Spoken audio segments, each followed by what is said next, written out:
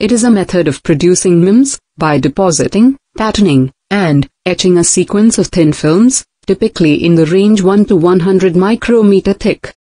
In contrast to the bulk micromachining, surface micromachining builds the structures on the silicon surface by depositing thin films of sacrificial layers and structural layers, and eventually the mechanical structures are formed by removing the sacrificial layers. Hence this process is usually involves films of two different materials.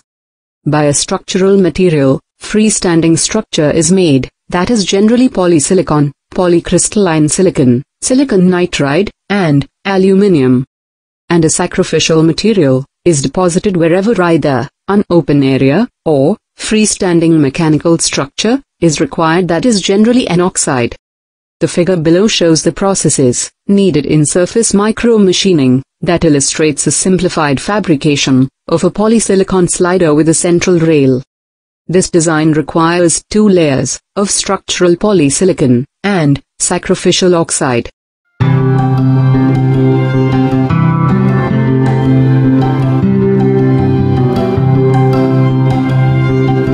Figure illustrates the first sacrificial oxide layer and how the deposition and patterning of the first polysilicon layer have been completed.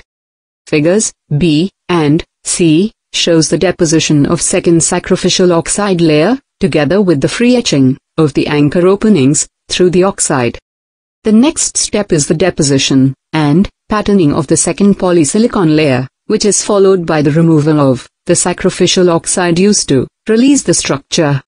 The major advantage of surface micromachining is that there is no constraint on the miniaturization of the devices fabricated other than those raised by the limitation in the lithography technology. Also, structurally complex mechanical systems, including freestanding or movable parts can be created by stacking multiple layers of material.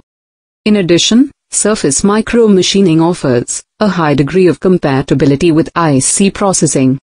But the main drawback of surface micromachining is that it is thin film technology that creates basically two-dimensional structures.